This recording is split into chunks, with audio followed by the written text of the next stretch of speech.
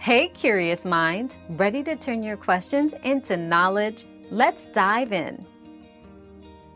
Watch Buffy the Vampire Slayer and Angel in this order for the best experience.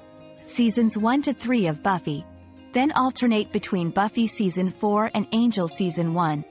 Followed by Buffy Season 5 and Angel Season 2. Continuing with Buffy Season 6 and Angel Season 3, and concluding with Buffy Season 7 and Angel Season 4 and 5. This sequence preserves the crossover storylines and character arcs. Another mystery solved, but many more await. Keep up with our daily discoveries by subscribing and turning on notifications.